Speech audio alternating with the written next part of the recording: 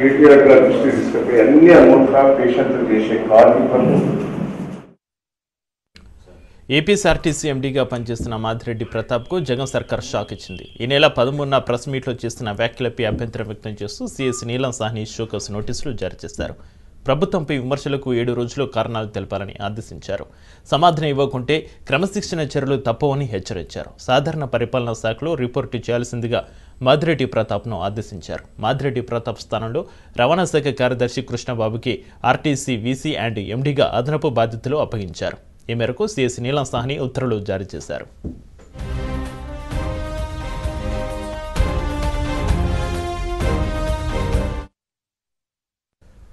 Volleyball ఆట రెండు గ్రామాల మధ్య చిచ్చుబెట్టింది. ఆ ఆట కారణంగా రెండు గ్రామాలకు చెందిన ప్రజలు తీవ్ర ఘర్షణకు పాల్పడ్డారు.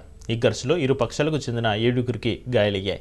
ఎస్ఆర్పురం మండలంలోని పొదలపల్లి వెంకటాపురం గ్రామాల మధ్య వాలీబాల్ పోటీలు జరిగాయి. ఈ పోటీలో పొదలపల్లి గ్రామస్తులపై వెంకటాపురం గ్రామస్తులు ఆరుసార్లు గెలుపొందారు.